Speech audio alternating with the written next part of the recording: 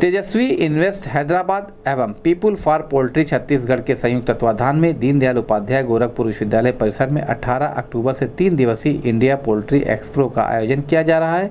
इस तीन दिवसीय पोल्ट्री एक्सप्रो का मुख्य उद्देश्य पोल्ट्री व्यवसाय में विकसित हो रही नई वैज्ञानिक तकनीकी की जानकारी ग्रामीण और शहरी क्षेत्रों में छोटे से छोटे पोल्ट्री फार्मरों को उपलब्ध कराना है। इस संबंध में गोरखपुर न्यूज़ से बात करते हुए पीपुल फॉर पोल्ट्री छत्तीसगढ़ के अध्यक्ष मनोज कुमार शुक्ला ने बताया। के भी कवरेज किए थे वो भी अच्छा रहेगा हो गया हो गया तेजस नहीं वो तो गया उसमें?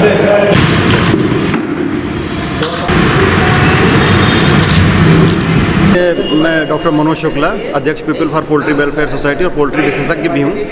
हमारा मुख्य उद्देश्य ये त्रिदिवसीय पोल्ट्री जो एक्सपो लग रहा है दीनदयाल उपाध्याय यूनिवर्सिटी गोरखपुर में।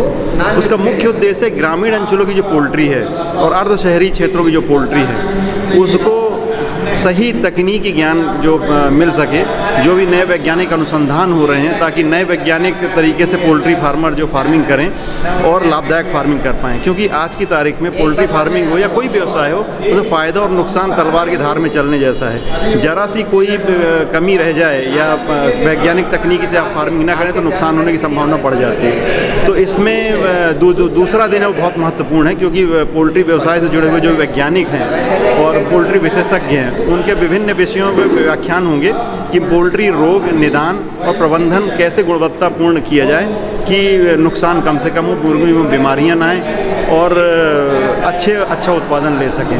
ठीक इसी प्रकार हमारा जो मुख्य उद्देश्य है एक तरीके से सरकार का ध्यान इस ओर आकर्षित करना कि भारत में, ये सिर्फ़, न सिर्फ़ भारत की बात हम करें, पूरे विश्व में वैश्विक कुपोषण एक बहुत बड़ी समस्या है, जिसमें लोग प्रोटीन कुपोषण से बहुत जूझ रहे हैं और वर्ल्ड हेल्थ ऑर्गेनाइजेशन की हम बात करें तो उसका भी मानना ये है कि विश्व से कुपोषण हटाने के लिए अंडा एक महत्वपूर्ण रोल प्ले कर सकता है। तो इसमें हमारा मुख्य उद्देश्य ये भी है कि हम लोगों को बताएँ जो अंडे के सेवन को लेकर जो मन, लोगों के मन में भ्रांतियाँ हैं कि अंडा मांसाहारी है कि शाकाहारी है। तो हम जानकारियाँ देंगे कि जो फार्म के अंडे हैं, जो कॉमर्शियल फार्म के अंडे हैं, वहाँ सिर्फ़ मुर्गियाँ पाली जाती हैं, मुर्गे नहीं होते। और ये सर्वविदित सत्य की जब तक निषेचन की प्रक्रिया नहीं होगी, तब तक भ्रूण उत्पन्न नहीं होता और भ्रूण से जीवन नहीं बनता है। तो इसमें सिर्फ़ मादा मुर्गियाँ रखी जाती हैं तो निषेचन प्रक्रिया नहीं होने कारण इसको कितने दिन भी रखें आप, इससे चूजा नहीं निकलेगा।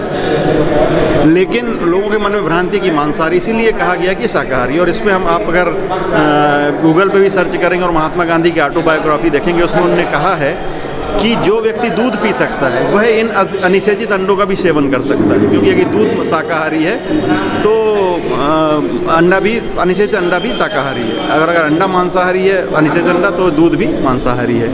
तो ये बहुत बड़ी बात बात हम लोगों को समझाना चाहते हैं कि ये अंडा शाकाहारी है इसे आप सेवन कर सकते हैं, इससे चूजा उत्पन्न नहीं हो सकता।